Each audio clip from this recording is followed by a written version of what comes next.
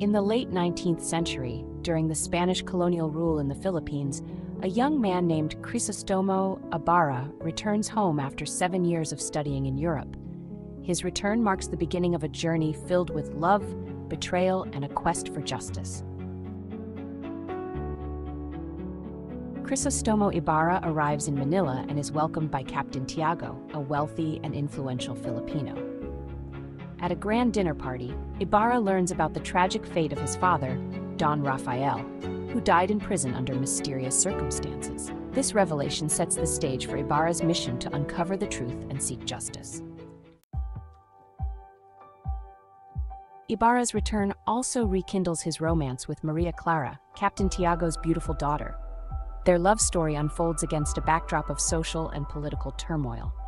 However, their happiness is threatened by Father Damaso, a powerful friar who harbors a deep-seated grudge against Ibarra and his family. Determined to honor his father's legacy, Ibarra embarks on a mission to build a school in his hometown of San Diego. He believes that education is the key to empowering his fellow Filipinos but his efforts are met with resistance from the corrupt Spanish authorities and the influential friars who fear losing their control over the people. As Ibarra's plans progress, he faces numerous obstacles and betrayals. Father Damaso and other powerful figures conspire against him, leading to a series of tragic events.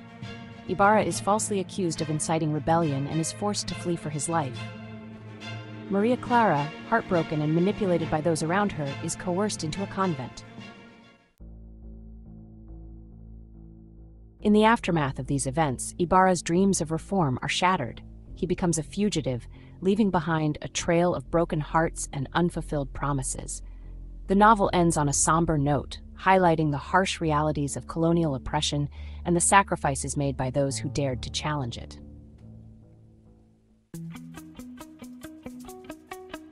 Noli Me Tangere is a powerful and poignant narrative that exposes the injustices of Spanish colonial rule in the Philippines.